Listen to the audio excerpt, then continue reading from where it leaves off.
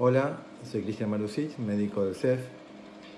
Ante la eminente vuelta a la práctica deportiva, luego de más de cinco meses de cuarentena, quería informarles sobre algunas complicaciones que nos dejó esta pandemia.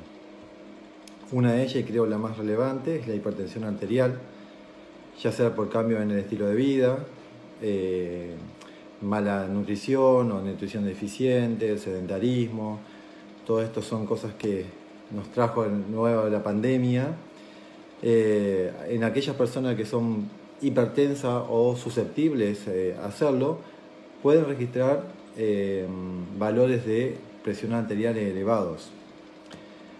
Por lo que el regreso a la práctica deportiva debe ser gradual y controlado por el equipo médico deportivo para valorar la aptitud física y la aptitud cardiovascular. De esta forma nos aseguramos eh, evitar complicaciones y realizar una práctica deportiva segura. Le mando un saludo y estamos a su disposición. Hola, soy el Dr. Marusic y hoy quería hablarles sobre la hipertensión arterial. La hipertensión arterial es la fuerza y resistencia que hacen las arterias para dejar pasar el flujo de sangre por ellas.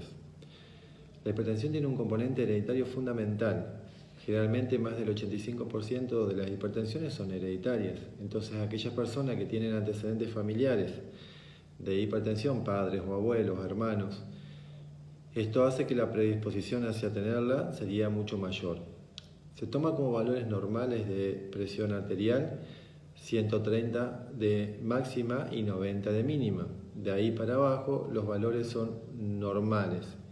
Cuando llegamos a 140 es prehipertensión y más de 140 es hipertensión. Hay factores que la modifican. Hoy en día estamos pasando por una situación especial, esto de tener en cuarentena y no poder hacer nuestras tareas habituales. Uno de los factores que la modifican es justamente eso, cambian el estilo de vida.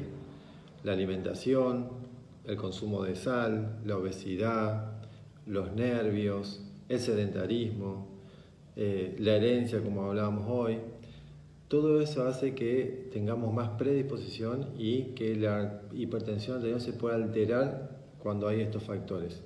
Entonces la conducta para poder lograr y mantener una hipertensión o una presión arterial estable es tratar de minimizar justamente estos factores de riesgo. Eh, vida saludable, dieta saludable, disminuyendo el consumo de sal, de grasas y harinas, eh, también tenemos que tratar de hacer deportes o ejercicio. Eso nos permite entrenar el corazón y entonces el corazón resiste ante un esfuerzo físico. Cuando nosotros le, impongamos un esfuerzo, el corazón va a tener, eh, va a estar entrenado y va a poder responder ante ese esfuerzo. Después bajar de peso, eso va acompañado de la dieta y el ejercicio físico. Y bueno, las emociones, eh, en el caso de que no se pueda autocontrolarse, hay que pedir ayuda porque es necesario que logremos manejar la emoción y que no nos afecten para que no nos aumente la presión. Eh, esos serían los parámetros más importantes sobre, sobre la hipertensión arterial. Eh, espero que les sirva y cualquier cosa estamos en contacto.